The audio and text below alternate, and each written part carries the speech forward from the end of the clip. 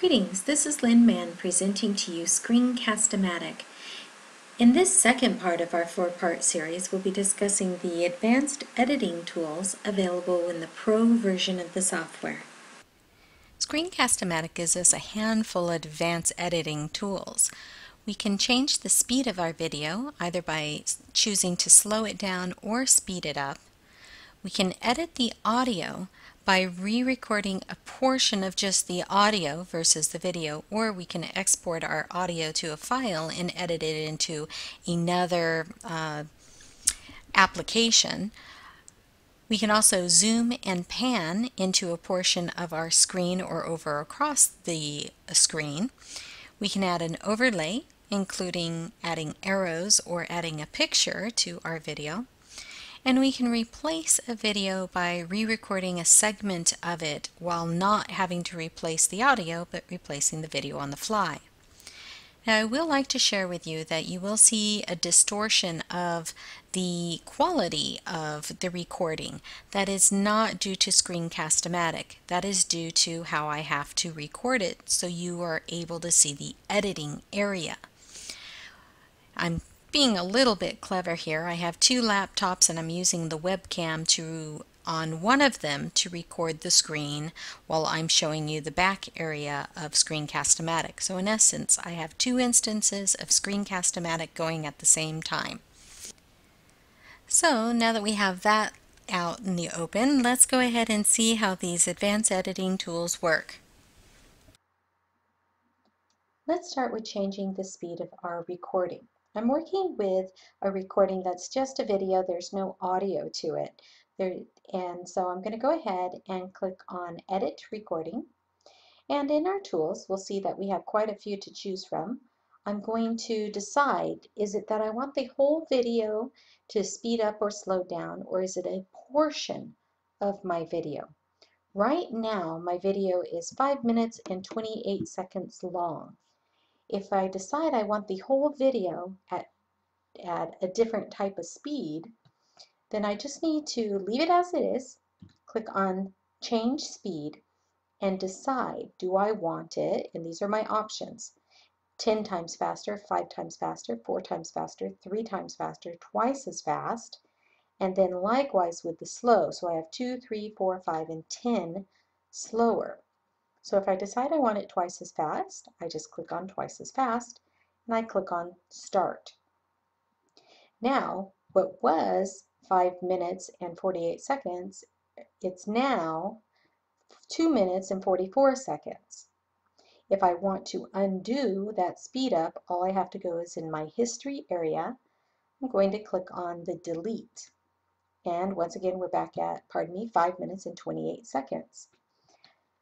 So let's say I want to slow it down. Again, whole video, and I'm going to click on the start, the speed change, and go instead of twice as fast, twice as slow. And this should boost it up to over 10 minutes long. And indeed, it's 10 minutes and 56 seconds long. Now that's great if I want to do it to the whole video, but I can do it to just a portion of the video as well. So I'm going to go ahead and delete that slowdown. And this time, I'm going to change my beginning and end markers. I'm going to say perhaps drag it to, oh, I don't know, one minute. That's always a good time to start on.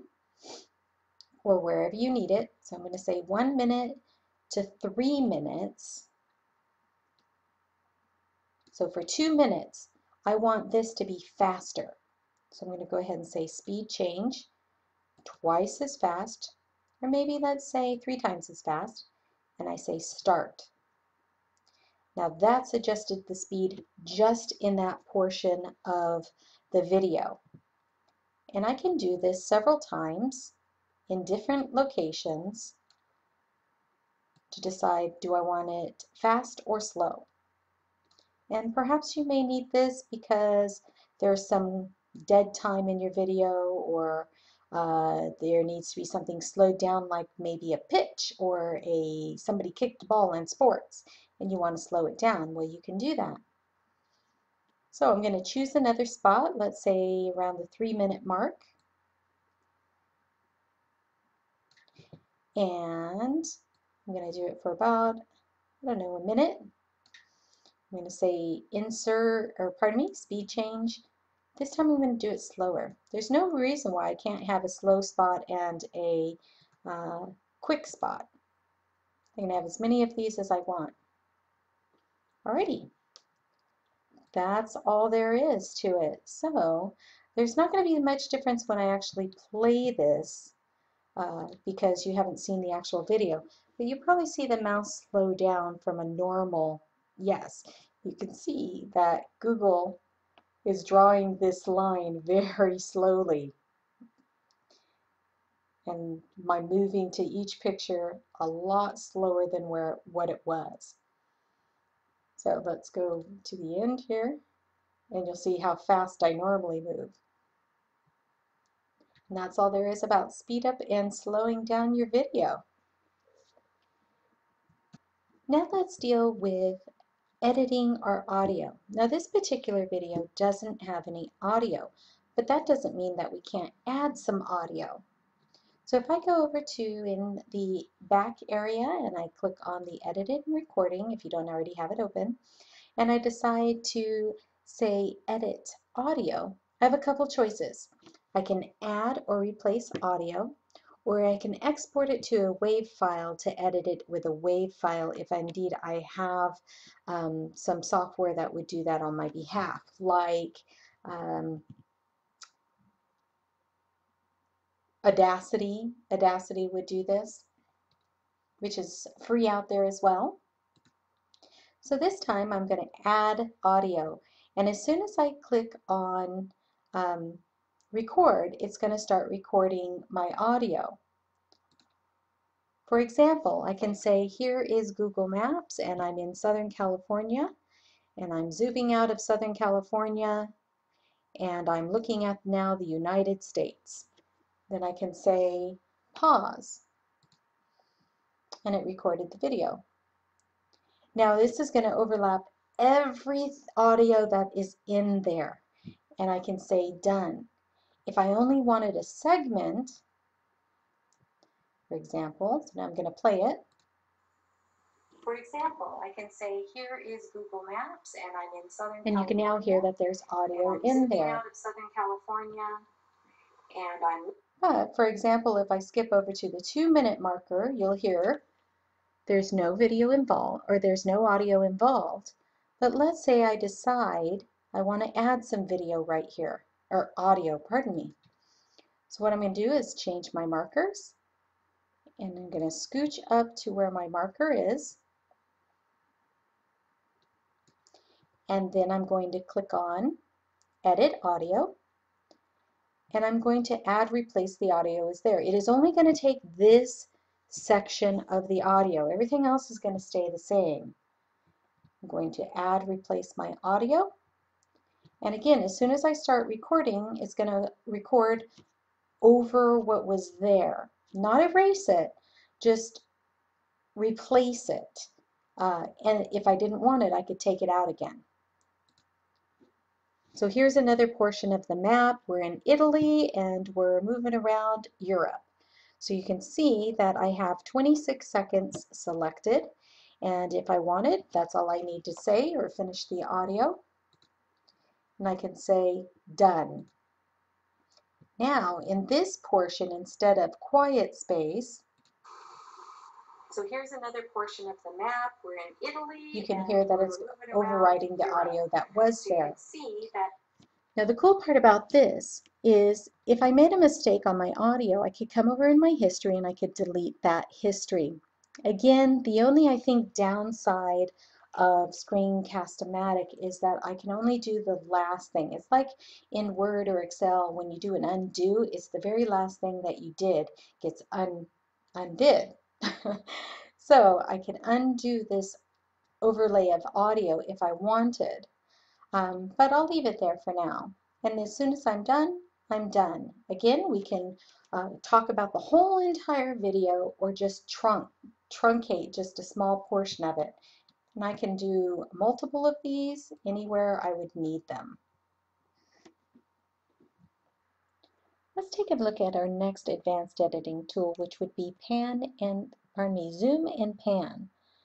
For zoom and pan, sometimes we want to zoom into an area of our screen and then zoom back out, that it just needs to see a little closer what we're doing. So I'm going to get to a point of this video Let's say we want to zoom in on Greece. And within this area, okay, I'm going to go ahead and click on Zoom and Pan. And I'll click a little bit of head. I'll say Start. Now the reason why I did that right here, I'm going to give it about a half a second and this is where I'm going to start my zoom. So I'm going to zoom in, let's say, to Greece. You'll see the zoom right here. And I'm just clicked behind the zoom. It says Start Zoom. And I'm going to start it just a little bit before. And then if I go after, I can bring it out to 100%. There we go. And again, I can start my zoom to the next zoom. So I zoomed in and I zoomed out. I'm going to say done go a little bit to behind where I started that zoom and I'll play it to make sure this is what I'm doing what it's doing is I want it to do. So I should zoom in slowly to Greece and then slowly out. Well it did it fast because I didn't do very good spacing of that but that's okay. I'm going to pause the video just clicked on that one item since it was the last thing that I did. I can actually take this last zoom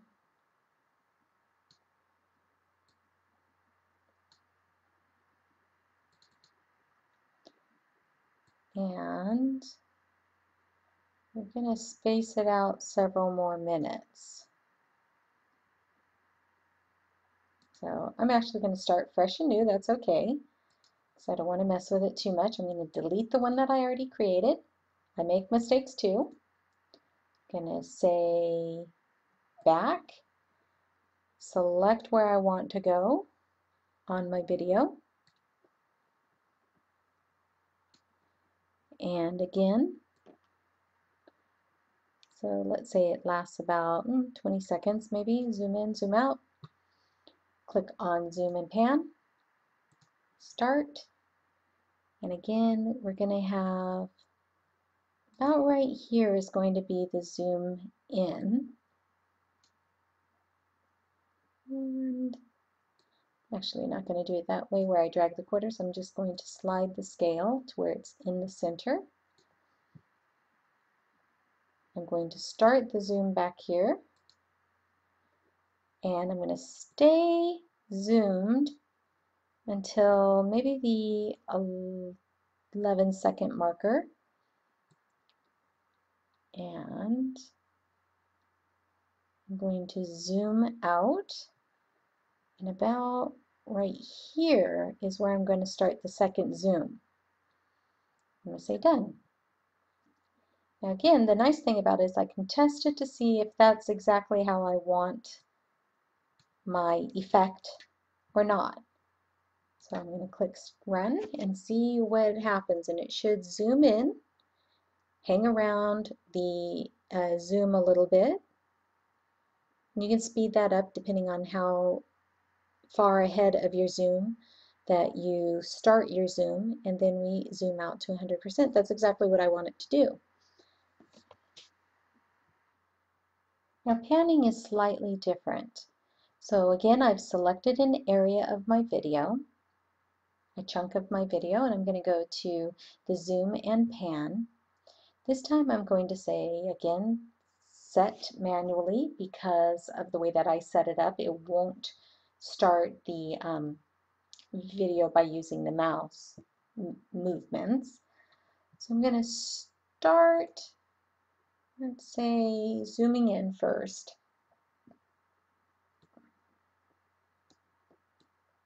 And perhaps I just want to follow these pictures down at the bottom. Let's zoom in just a wee bit. And I'm going to say, there's my first frame. And now I'm going to go up maybe a second or two. Move to the next area. And I can start my zoom a little bit before that. I'm just kind of playing with this to see how I can get my pan to work nicely.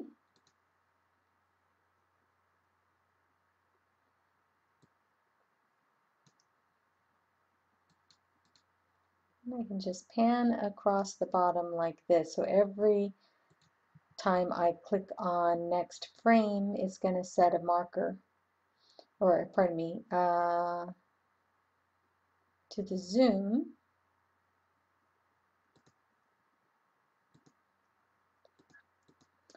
it's going to click on the next guy over. There we go.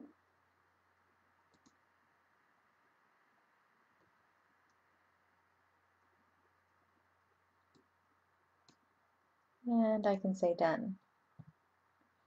Again, I'm going to test this out to see if this is what I want it to do.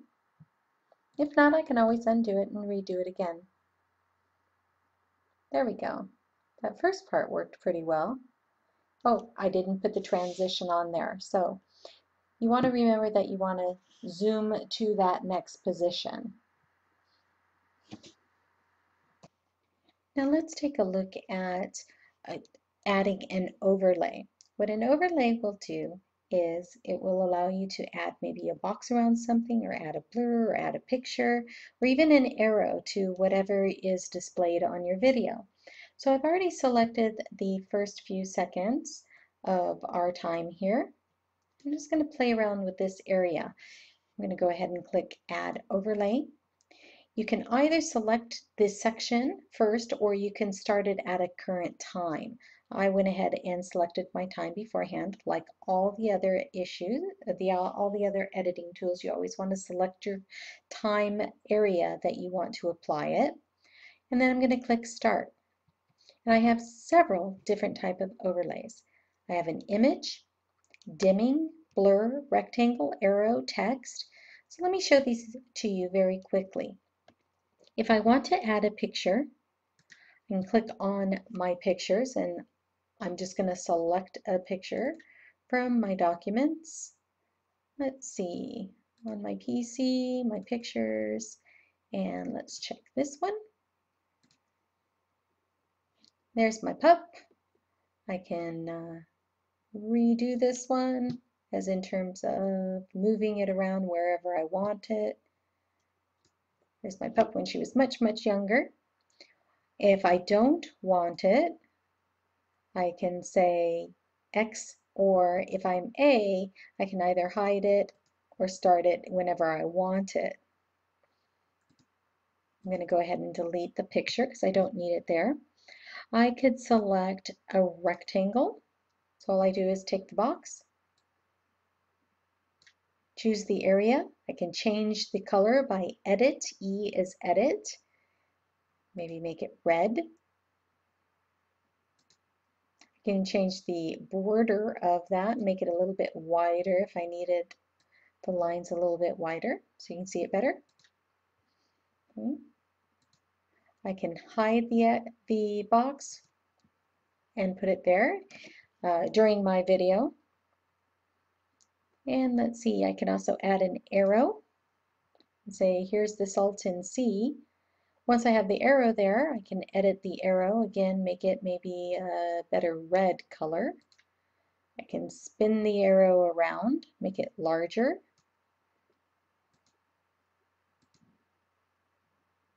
I can hide it. And again, if I don't need it, let's make it skinnier. If I don't need it at all, I can delete it by using the X. Perhaps you need some text on this overlay. So you just click on the text, move the text wherever you want it. It's like a call out at that point. I got to grab this little arrow. Let's see. As soon as it gets into that crosshatch, I can move it wherever I want it. Again, I can edit the text, choose my colors. Here's my background. Perhaps I don't want it. Uh, there's my text color. I want my text to be black.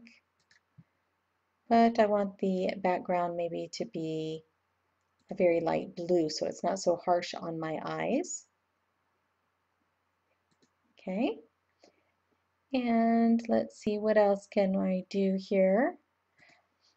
Perhaps you want to add a blur. Now, blur is usually for privacy, so perhaps I have an address or somebody's picture that they didn't give me permission. I can select blur and select whatever area I want to blur. And you'll see there's a nice blur to, blurring effect to it. So that's all I have to do. And I'm going to go ahead and say done. I'm going to test it out so you can see what I did there. And all of those come in very nicely. Again, they pop out pretty quick because that's I did it pretty quick, but if I had one item on, it would stay on for that duration of period of time and then come off. So adding overlays is a very nice way of grabbing somebody's attention, adding more content, and uh, focusing in on one point of your video. The last advanced editing tool that I want to discuss is replacing video. Now replacing video is similar to insert more, but it's not using a pre-recorded video. This is on the fly, I want to fix something, but I want to leave the audio alone. So what I want to do is, of course, put my video, what I want to record over, let's say it's for about, um, I don't know, four seconds. So as soon as I click on replace video, it's going to give me the option of recording and it's only going to record for that length of time. So click on replace video and you see I only get 4.8 seconds. I could do shorter and then what happens is it holds that last editing frame. So I'm just going to close down that window and I'm going to record my laptop um, and then it starts recording. It's only going to do the four seconds. If I choose to stop it earlier, uh, it will hold that last frame. So now I'm going to say done. Bring up my screencast-o-matic and I'm going to go back and I'm going to see now what my video looks like. So I'm going to backtrack it just a little bit, re rewind it just a little bit.